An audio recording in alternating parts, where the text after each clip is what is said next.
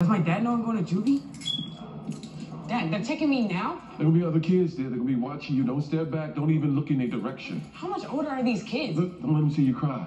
Okay? Do it in the shower or when you're alone. Otherwise, they're gonna think you're weak. And don't ever, ever accept any favors from anyone. How far is this place? Am I going to be able to see you? Stop asking questions.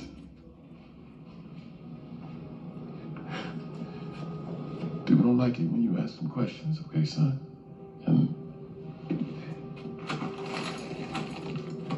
What do you... I gotta take these.